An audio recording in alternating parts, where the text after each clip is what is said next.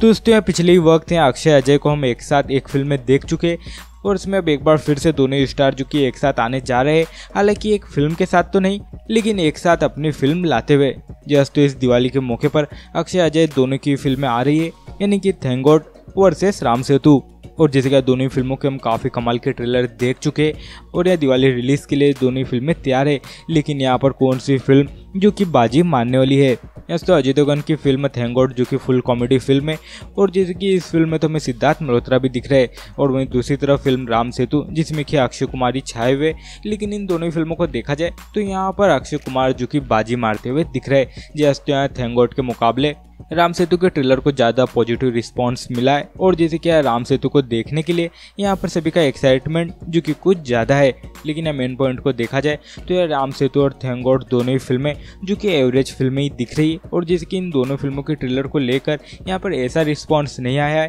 कि ये फ़िल्म जो कि दिवाली में छप्पड़ फाड़ देगी और यह फोड़ेगी एक बड़ा बम। तो जैसे कि फ़िलहाल तो दिवाली जैसी शानदार डेट पर भी यहाँ पर दो बड़े स्टारों की फ़िल्म आने के बावजूद यहाँ पर पब्लिक का एक्साइटमेंट जो कि उतना नहीं है। लेकिन यह फिर भी इस बार अक्षय कुमार जो कि बाजी मारते हुए दिख रहे हैं। हालाँकि फ़िल्म की रिलीज़ होने के बाद ये पूरी तरीके से कहा जा सकता है कि यह कौन सी फ़िल्म जो कि ज़्यादा शानदार है और यहाँ पब्लिक किस तरफ़ ज़्यादा जा रही है। हालाँकि दोस्तों, यहाँ आप बताइए राम सेतु और थैंक गॉड में से आप किस फ़िल्म को इस दिवाली के मौके पर देखना चाहेंगे। साथ ही और बॉलीवुड से जुड़ी लेटेस्ट अपडेट के लिए चैनल को सब्सक्राइब करें, लाइक, शेयर, कमेंट ज़रूर करें।